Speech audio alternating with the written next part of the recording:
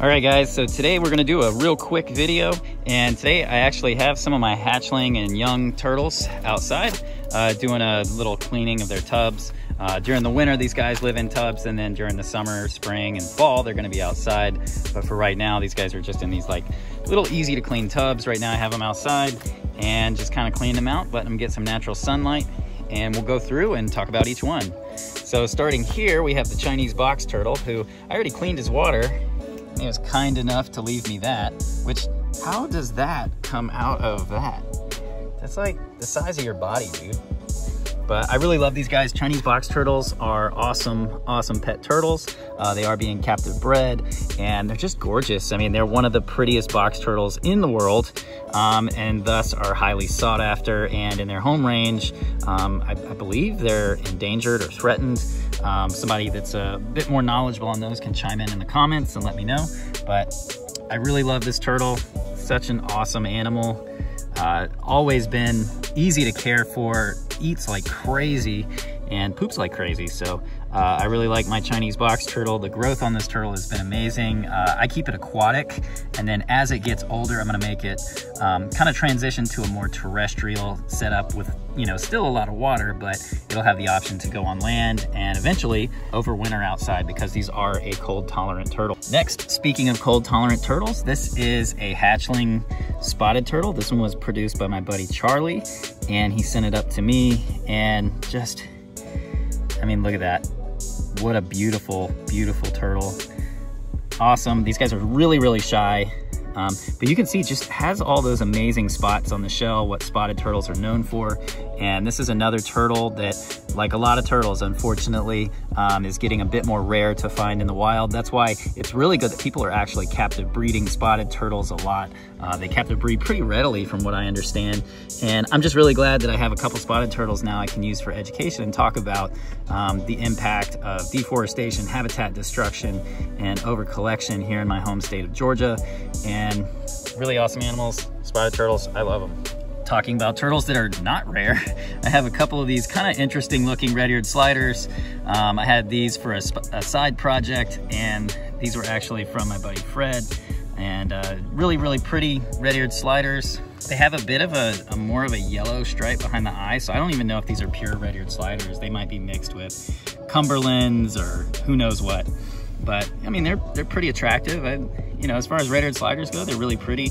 Uh, one of the most common turtles in the world thanks to uh, what people have done and making them you know one of the number one animals in the pet trade uh, the red-eared slider can live just about anywhere and you know a lot of people release these which they should not do and they're such a hardy turtle they can just you know survive just about anywhere on earth so uh, I do have a couple of them and they're really attractive so they're you know fun to mess with over here, I have a couple yearling turtles. Now, one of these, um, this one is a yearling loggerhead musk turtle.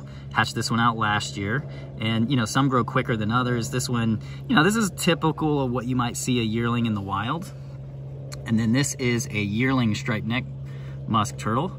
And it's a bit bigger and which is funny because typically striped necks grow a little bit slower than the than the loggerheads. Um, and this one is about the size of what a two-year-old would be in the wild. Um, the sibling to this turtle I actually sent to my buddy Grover because he is the man when it comes to striped neck musk turtles. And uh, I just really wanted him to have one all right, on the subject of musk turtles, these are captive bred musk turtles. We've got a stink pot in the corner there, and then the rest of these are little tiny loggerheads, and they're just so cool looking. I love the loggerhead musk turtles. They're just such interesting little characters, and you know, these um, are a mix of ones that I hatched and that Fred hatched, and just beautiful little musk turtles. Some of these guys, you know, hatched here, you know, and I found them in my pond, and have the really cool bright orange or bright pink on the bottom that the musk turtles are known for. And, you know, some of these, like the ones from Fred that have a really, really ornate carapace, actually have a really pale plastron. So they're a bit different from each other, which I like. And it's gonna be cool to watch these guys grow up. And here soaking in this tub is, and pooping in this tub, sheesh. Um, so these guys are cherry heads from my buddy Charlie Moorcroft. And it's important to soak your tortoises every single day. And that's what I'm doing. These guys are getting a morning soak plus some natural UV of being out in the sun while I kind of clean some tubs and keep an eye on the other turtles and tortoises that are out here. Um, you know, these guys are just, they're still really, really shy. Um, I don't really mess with them a lot, but they do eat really, really well. And I really love these guys. I thank Charlie again just for sending me amazing cherry head tortoises. These have really become some of my favorite animals to keep and they make excellent pet tortoises for anybody interested in a pet tortoise. I highly recommend the redfoot and cherry heads. And, you know, like I've mentioned before, always buy captive bred. And luckily these guys are being captive bred pretty common. Now, overall, what I do is I change out the water. I scrub with a toothbrush, anything like algae and stuff that builds up. You can see in the musk turtle thing, a little bit of algae is built up from the lights inside.